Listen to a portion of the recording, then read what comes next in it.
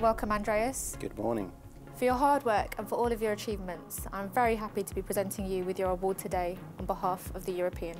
Fantastic. Thank you very much, Gurpreet. It's really a pleasure being here today. Thank you very much also to the audience.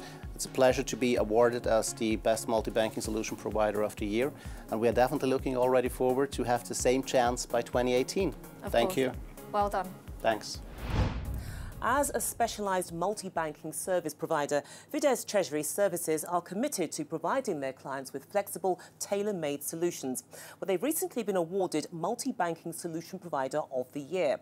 And today, Andreas Lutz, who's CEO of Fides, joins us to discuss the industry. A very good day to you, and congratulations on your award. Good morning from my side, and thank you very much. Now, the company's been going strong for over a century, and it's focusing on connectivity and transaction communications.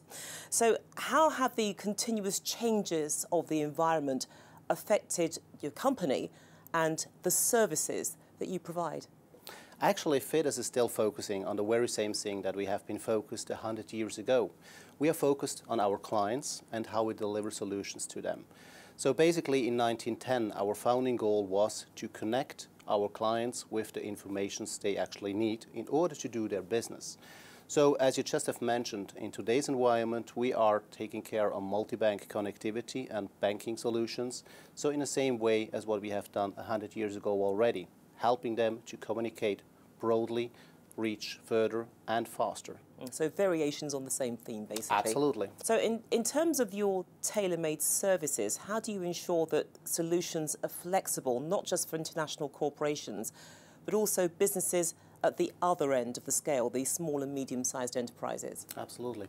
So basically, it is because we put the client at the center of our development. So we basically plan, develop, and also execute the solutions around our clients. So let's take an international company, a large international multinational company. They're actually having typically sophisticated infrastructure in place. So what we do is going directly into their system, connecting their enterprise resource planning system or the treasury management system directly with our solutions. While on the other hand side, for example, smaller corporations particularly, they do not have such systems in place. So what you do here is basically the same approach, but by delivering our web applications for them.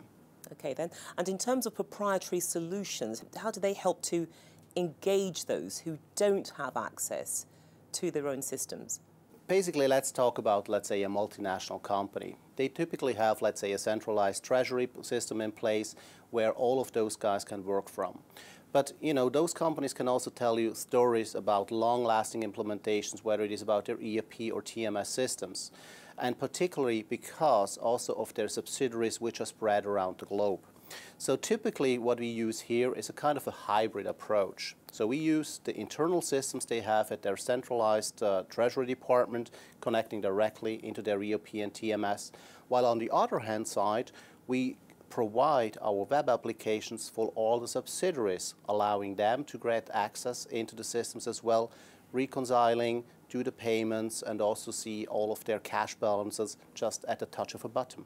Okay, so all bases are covered basically. Absolutely, absolutely. But look, you know that the trends in the business environment, they are constantly moving, they're never static. So there must surely be a lot of pressure on you that uh, to, to actually move with them, with the pressures on, on the expectation that payments are actually transferred very quickly. So how have you responded to this? Because you've got to stay ahead of the game here. Absolutely, we do have to. So basically, I mean, we invested heavily into our infrastructure over the last couple of years. That was one of the key features which we have had to enhance, right? And on the other hand side, there is also what is going on on the market. I mean, the market is shifting more, as what you just have mentioned, into the fast payments, into real-time payments, so to speak.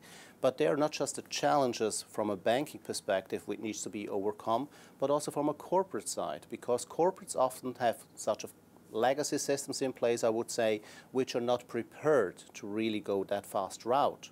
Moreover, if you look at just a purely technology point of view, the infrastructure which has been built many, many years ago isn't made for such innovations. So in order to achieve really, let's say, real-time payments, the entire environment would have to be changed. And this is really something which where we're going to see actually a lot of hurdles which we need to overcome over the last couple of years. And, uh, and moving on, on onto that point as well, because you know there's also the issue like fraud, for example, yeah. efficiency gain and cost. So bearing in mind what you're doing to to keep pace with the general changes in your industry. How do you factor in those issues, dealing with fraud, efficiency gain, cost, etc.? How does that shape your approach as well? That's a very good question, actually, because I think it is really on the top of the agenda of every corporate treasurer to deal with fraud, to have the necessary protocols in place, but also to achieve visibility about their cash and also about the predictability to, in order to really enhance their payment processes or the workflows overall. So from a FIDES perspective, we actually just have implemented, uh, thanks to our solution approach I just mentioned before, a new and enhanced sanction filter capability. This is also, of course, in place to avoid fraud from one angle. So, for example, we have implemented a solution which allows a treasurer to simply check whether his payment would actually already be on a sanction filter list double check, select say, like the OFAC checks or any other checks we are doing. And on top of, we are also allowing our clients to add on any additional sanction filtering lists, which are very important because of internal policies, for example. So this is all really just in order to avoid the upcoming cyber crimes, fraud possibilities, etc. So they're combining their material with yours, basically? Absolutely. Now, you've just been awarded the Multi-Banking Solution Provider of the Year. So what message do you think that sends out to current clients and indeed potential clients? And what do you think that you did right to get this title? Because it, it's not doled out easily. You've got to earn it. Absolutely, you're totally right. And I think that would be the best question to ask actually the treasurers because they nominated us at the end of the day and I'm really thankful for that. So I think because of us, I would say it is really because the solution we put in place are made because of the requests we're going to get from the clients. We provide solutions which allow treasurers to grow with and to further grow their business therefore.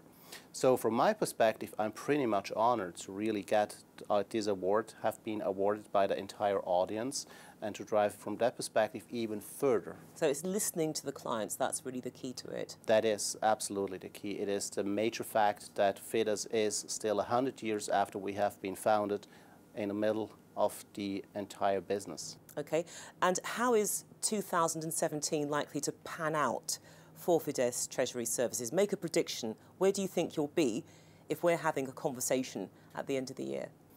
Well, honestly, of course, I do hope that we are still ahead of the curve and we have done a lot in order to be so.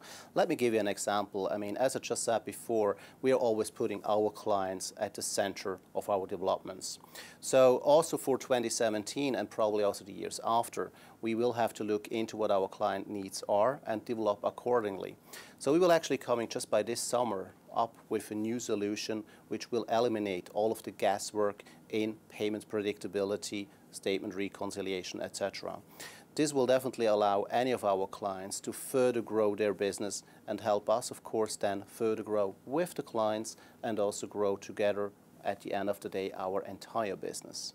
So 2017 will be very important for us and more to come 2018. Seems like you're never really going to slow down, are you? Andreas Lutz, we'll leave it there. Thank you. Thank you very much.